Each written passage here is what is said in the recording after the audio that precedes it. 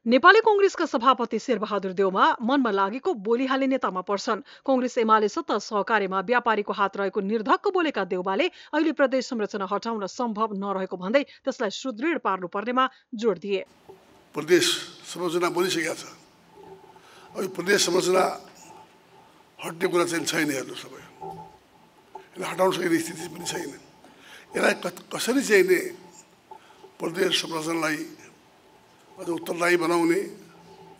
कसरी यसलाई चाहिँ अझ बढी एकाउन्टेबल बनाउनेदेखि लिएर सारा कुराहरूका सम्बन्धमा विचार गर्ने सोच्ने त्यस अनुरूप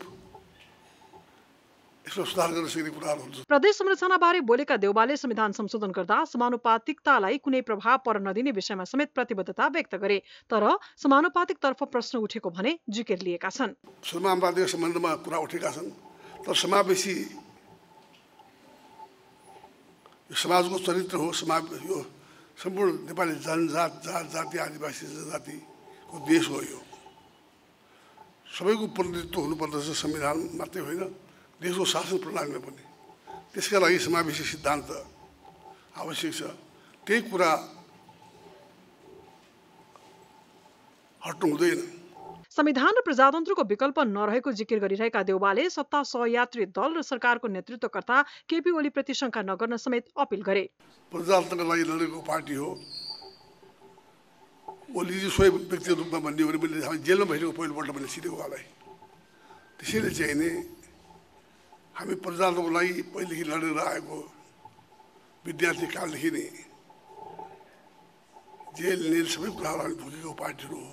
त्यसैले चाहिँ नै प्रजातन्त्र खिलाफमा कुनै पनि काम हुन सक्ने कुरा छैन अझ यसलाई कसरी अगाडि बढाउने कसरी मजबुत गराउने कसरी जन जनताका प्रति अझ बढी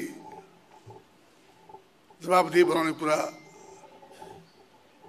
आवश्यक छ माओवादी केन्द्रका अध्यक्ष प्रचण्डले धोका दिएको ठानेका देउबाले पछिल्लो समय ओलीमाथि गरेको विश्वास र दिने अभिव्यक्तिले उनी गठबन्धनप्रति इमान्दार रहेको सङ्केत भने गरिरहेको छ।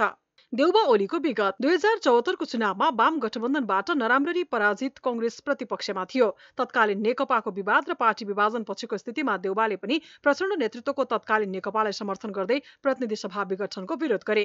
ओलीले संसद विघटन गरेपछि एकाएक सत्ता नेतृत्वमा पुगेका देउबाले प्रतिगमन सचिएको र ओलीको कब्जाबाट देशलाई बचाउन सफल भएको अभिव्यक्ति दिएकै कारण ओली देउबा बीचको सम्बन्ध खास राम्रो थिएन। तर प्रचण्डले सत्ता नेतृत्वमा उछलकुद गर्न थालेपछि बिचकिएका देउबा ओलीले पछि पछिल्लो समय सहकार्य गरेपछि उनीहरू फेरि नयाँ सिराबाट अघि बढ्न खोजेका छन्। न्युज ट्वेन्टी फोर टेलिभिजनका लागि ब्युरो रिपोर्ट।